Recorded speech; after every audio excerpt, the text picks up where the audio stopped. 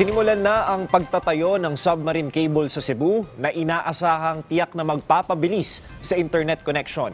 Inaasahan din ang paglago ng ekonomiya ng lungsod dahil magdudugtong ito sa Luzon, Visayas at Mindanao.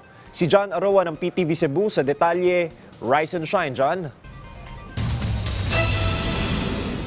Dumating na sa Cebu ang mas pinalakas at mas pinalawak na Philippine Domestic Submarine Cable Network na siyang magpapabago sa kasaysayan ng mobile at broadband connectivity sa bansa.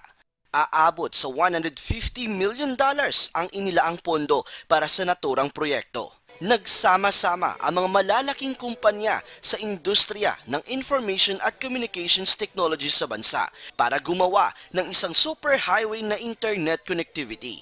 Game changer may tuturing ang naturang proyekto na isang pangarap na naisakatuparan para sa adhikaing magkaroon ng mas modernong global transformation advanced technology wireless community dito sa Pilipinas.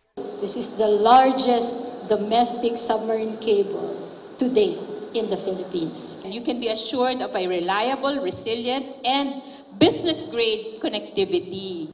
Ang Mactan Island ang ikasampung landing site ng naturang proyekto na nagsimula sa Luzon, kung saan layo ng PDSCN na pagdudugtungin ang Luzon, Visayas at Mindanao ng fiber internet connectivity sa pamamagitan ng makabagong teknolohiya na submarine fiber cable network. nasa dalawang tubig, dagat. And what it does, it, it helps the a certain area increase capacity and more coverage. From the sea, i-underground siya padulong sa distribution points. The goal is to actually have all of those underground.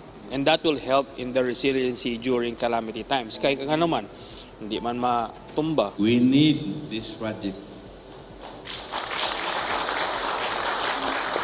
We envision the city of Lapu-Lapu as the premier tourist city in the Philippines. Aabot sa 2,500 kilometers ang kabuang haba ng PDSCN sa buong bansa. Cebu now has the capability to connect to all the islands, including uh, Luzon and Mindanao. With the digitally transformed Cebu, um, we see a lot of opportunities being unlocked. Sa taong 2023, inaasahang magiging fully operational na ang naturang proyekto. Isang malaking hakbang para sa mga taga Cebu ng gobyerno at business sectors ang proyekto dahil ang pagkakaroon ng malakas at matibay na internet connectivity ay mas lalong magpapaunlad pa sa pamumuhay ng mga tao at ekonomiya ng bansa. Mula sa PTV Cebu, John Arua para sa Bayan.